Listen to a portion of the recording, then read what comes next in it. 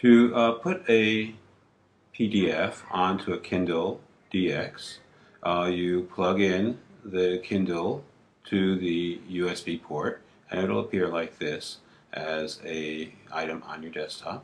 Double click on it and you will see it appears uh, as a folder with a documents folder and in there you'll see all the various documents that are on this Kindle.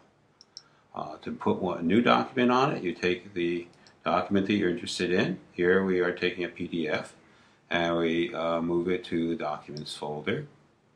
Um, and there you see the equipment loan agreement PDF is there uh, and that is going to appear on the screen of the Kindle when we remove it from the desktop. So we're going to take this and move it to the trash, eject it, and we are now ready to view that document on the Kindle DX.